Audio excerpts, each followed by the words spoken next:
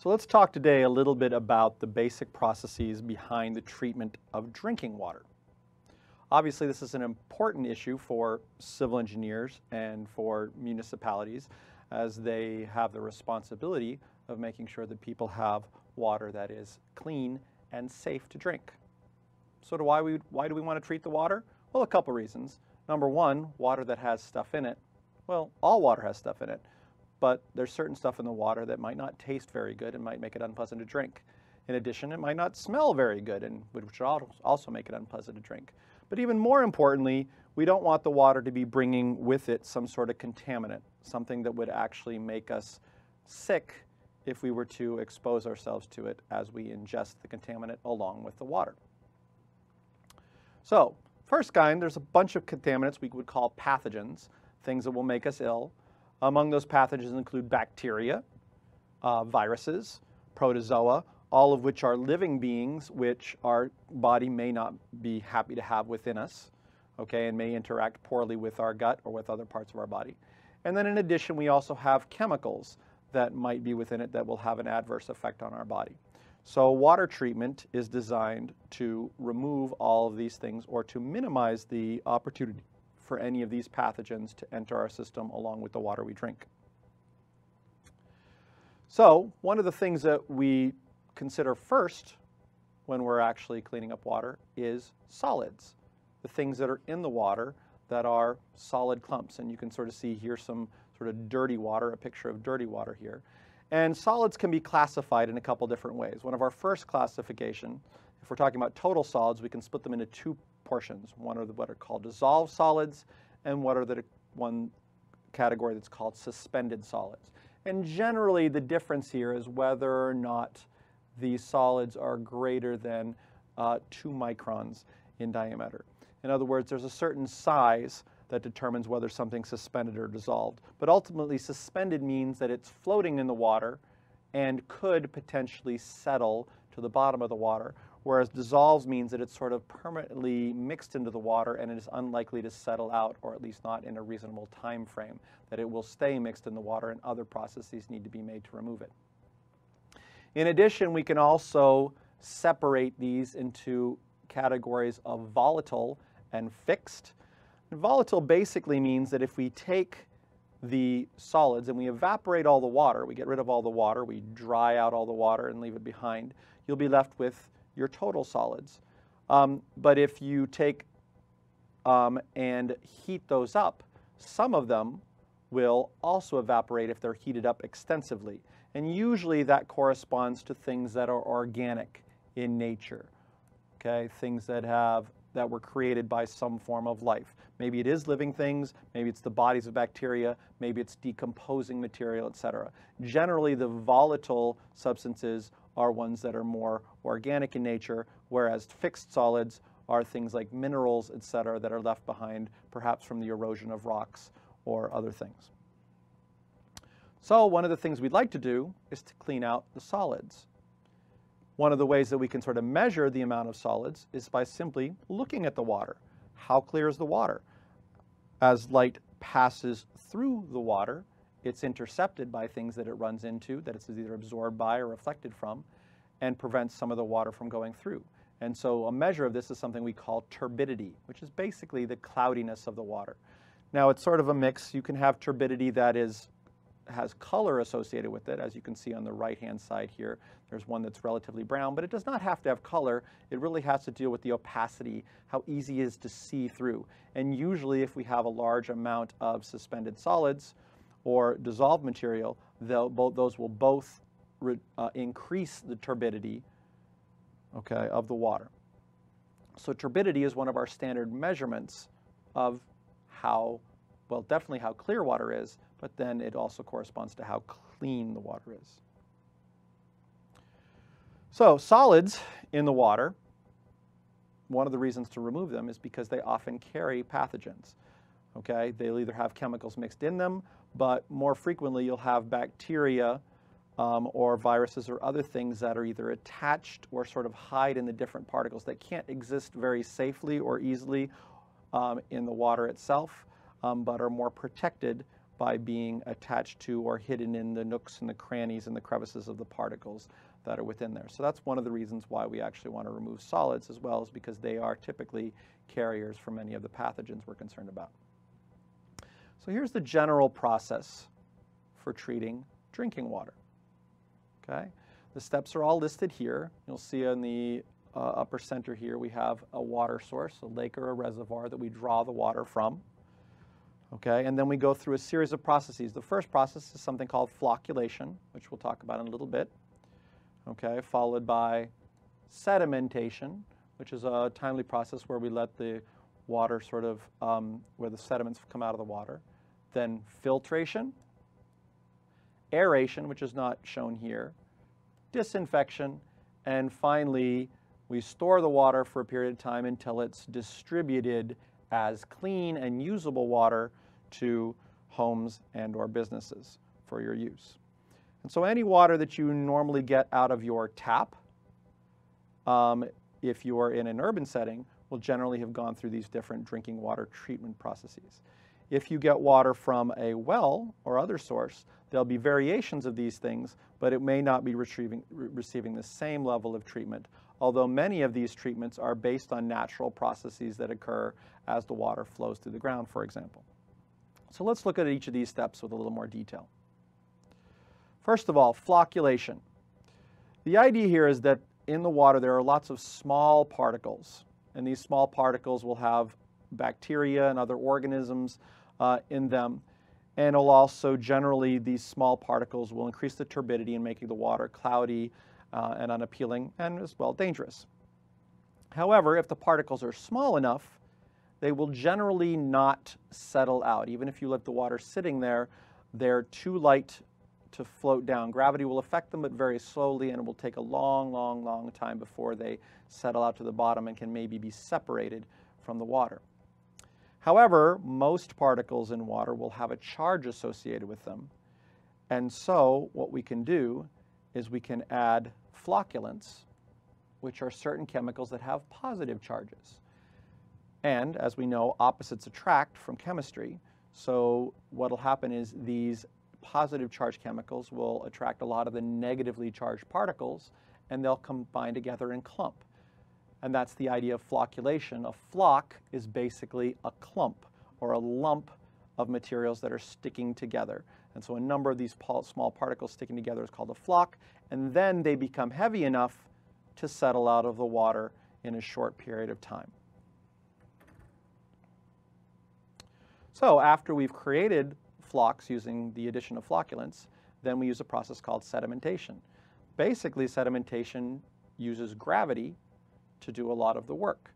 You simply allow the water to sit in a very still environment, slow it down until it's almost still or very close to still, and at that point, there is not enough motion to sort of keep the floating flocs, the clumps, in place, and they will eventually sink to the bottom. And if you allow them to sink to the bottom, then what you can do is you can let the water filter the water off the top, let it flow away. It will have less of the sediment in it, less of the flocs in it, and then every so often you can actually clean off the sediment of the bottom by scraping it away and clearing it away and disposing of it. So our third process, the flocculation gets rid of most of the chunks, but not necessarily all of them. Some of them may not have settled to the bottom. So the third process is then to run the water through a filter. And basically a filter, any of you, if you, any of you have used a sieve or a colander, if you have your spaghetti mixed in with water and you pour it into something that has small holes, but the holes are small enough to let the water through, I mean, small enough to let the water through, um, well, large enough to let the water through, but small enough to prevent the spaghetti from going through. And then you're able to separate the two. Well, that's basically the same process. What you do is you run the water through progressively smaller and smaller filters, things that have progressively smaller and smaller holes, and then things get trapped in there. The larger flocs and other particles get stuck. Okay, if you pr provide appropriate barrier of appropriate sizes, then you can capture even protozoans and bacterium and other things um, And there's different types of materials you can use. Usually you start with the materials that have larger holes in them, and then you progress to materials with smaller holes. So larger chunks are captured outside, and then smaller chunks are left behind with the progression of filters. Filters can be made of a bunch of different things, sand, plastic. Um, again, sometimes filters will take advantage of charge uh, in the same way that flocculants do and use the fact that they're charged to sort of help capture um, not just by the size but also by the electric charge. Um, the difference in positive and negative charge will help to retain and trap some types of contaminants. And then the water continues to sort of pass through. After filtration, you have relatively clean water. But another process that sometimes can be used is the idea of aeration. Because within the water, you might have things that are small enough to be filtered through because basically there are molecules of particular types of gases. And these gases are dissolved in the water, but, um, and they could be harmful, they could cause taste or odor, things along those lines. Um, sometimes you'll find that uh, even in households, you'll have this sort of smell uh, that smells a little bit like rotten eggs. That smell comes from something called hydrogen sulfide, and that's often a pretty common uh, contaminant or dissolved gas in many systems, and you'll often sort of smell that, or you can uh, sense that it'll, it'll often collect um, in your pipes, okay? Um, and that can cause sort of unwanted odors, which will make it, you know, the water not really, you won't really want to drink the water. But what aeration does is it runs bubbles of common air, um, or you can actually run particular gases through, okay, um, through the water. And what happens is then when that water, those bubbles run up and bump up against something that's dissolved in the water, that will tend to actually get freed from the water itself and sort of released into the air bubble in which case it floats to the surface with the rest of the air bubble and sort of released. And so that aeration kind of creates the surface area, lots of surface area where there's a gas fluid surface, where there can be lots of interchange of the gases that are in the water. Okay, and yes, you do end up adding gas to the water, but in this case, you can add gases um, like oxygen, for example, that are harmless or even a little bit beneficial to the water and the gases that are not wanted in the water are allowed to escape. Basically, um, the, the rule is that the percentage of gases within each bubble is going to tend to balance with the percentage of gases within the water. So um, you can either bubble air through or another way you can do it is you can take the water and spray the water out, basically spreading the water droplets in the air. Either way, you're basically aerating the water Okay? A similar thing happens in your aquarium where you actually bubble water through with the express purpose of adding oxygen to the water so that your fish in your fish tank can actually do better. Last but not least, disinfection. Now, in this particular case, you may not have been perfect in removing all of the pathogens, all of the bacteria or the viruses or the other pieces. Okay? Um, so what you can do in this case is you add very small amounts of chemicals that are used that will actually kill the bacteria or the other pathogens or dismember the other pathogens that are there, break apart uh, viruses and things like that. You can either add chemicals, you can also do other processes like ozone or UV light that can kill them. The benefits of something like ozone or UV light is that they actively can kill the pathogens but then will not remain in the water. That said, the pathogens that aren't killed could come back again or continue to survive, whereas more typically what we'll do is add small amounts of things like chlorine um, or variations of chlorine that will remain in the water. Um, and then, yes, the, the drinker will be exposed to those, but those are in such low levels that they will not affect the human drinker, but they will ultimately continue to kill the bacteria that might attempt to establish themselves in the water supply. Last but not least, you need to move the water out and into locations where it's going to be used. Okay, so water is generally piped from the water treatment plant and it's very clean when it leaves the water treatment plant. Okay, um, however, it's very possible that it could be recontaminated after it leaves the treatment plant. And often this is the case of what happens if you, the water's on its way to your home and something's wrong with the pipes on the way to, to your home.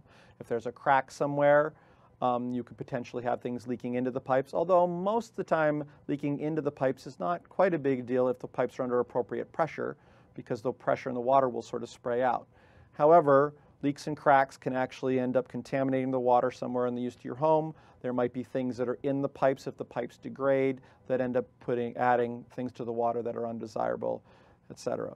So keeping extra disinfectant in there helps to prevent those things, but it doesn't necessarily remove whatever's added to the water. Um, and so sometimes if there are problems with water, you will end up getting dirty water coming from your tap, and usually that's a problem with the distribution system. Most of the time, your uh, treatment is fine. It's the distribution system that's a problem if you're getting bad water to your home. So, one of the things we're going to do in the class is we're going to do our, a little water treatment activity of our own here. We're going to start by creating some swamp water, basically mixing some water and dirt and other things that you probably wouldn't want to drink straight up. And then we're going to mimic the process that's done in, um, in water treatment plants. We'll, we'll, do some aeration. We'll add alum, which is a common flocculant and something that's easy to sort of purchase. You can actually purchase it in the spice section um, of your common grocery store. Okay, we'll do some mixing to let the alum flocculate. You'll allow sedimentation, and then you'll spend some time doing some filtering of your own and filter the water. You'll design a filter that you can use and filter the water. We will not actually go through, I mean, you could disinfect the water, but we're not going to go through the process of actually drinking the water as the sort of details about disinfecting and appropriate amounts of disinfectant would be something that would be unwise to try to mimic um, in the high school classroom level. So look for the water treatment activity. And hopefully this uh, talk gave you enough information about the water treatment process.